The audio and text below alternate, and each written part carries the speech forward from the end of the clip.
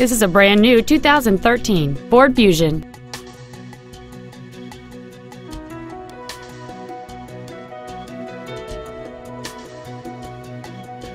Its top features include a low tire pressure indicator, XM satellite radio, aluminum wheels, and traction control and stability control systems.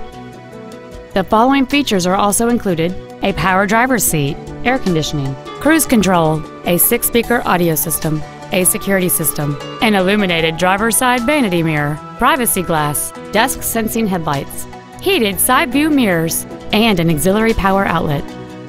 We invite you to contact us today to learn more about this vehicle.